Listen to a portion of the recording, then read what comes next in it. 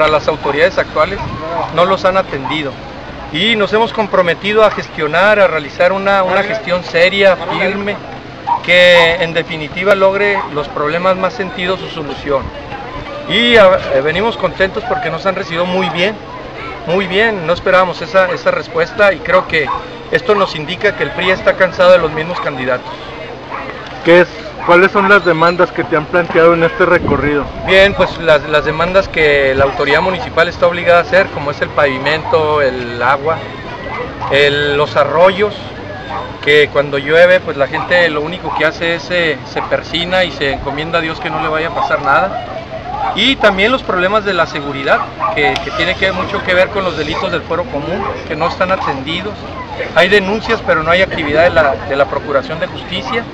Y yo creo que eso hace que, que la gente eh, voltee a vernos, nos ve unas personas serias, con propuesta, y nos ve una persona que, que sabe trabajar y que sabe gestionar. Y eso es lo que Jesús Limón les va a ofrecer y les va a ofrecer trabajo. Observamos en este sector que ha aumentado la civilidad política. Hace apenas dos o tres elecciones era casi imposible que un candidato panista pudiera transitar libremente por estas calles de la colonia Independencia. Sí, así es, efectivamente pues era intransitable, ¿no? Yo creo que la gente tiene claro de que más que una ideología debe de ser un candidato y debe de ser sobre todo el funcionario que logre resolver los problemas. La gente eh, está cansada de lo mismo, está cansada de las promesas incumplidas y pues eso nos ha dado la pauta para venir a saludarlos y a ponernos a las órdenes.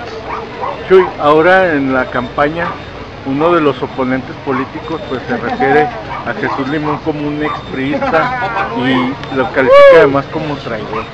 ¿Cómo tomas tú este tipo de aseveración? Bueno, dicen que las palabras se toman de quien proviene, ¿no? Quien me conoció en el PRI sabe que soy una persona leal, soy una persona trabajadora y bueno, yo creo que deberían de, deberían de, de primeramente preguntarle a quienes aspiraban legítimamente a ser los candidatos del PRI por este distrito si les dieron la oportunidad, si realmente no traicionaron el lema que tiene el PRI de justicia social y democracia, ver realmente si quienes me está acusando de traidor ha, ha dado cumplimiento con lealtad a los principios de democracia del PRI.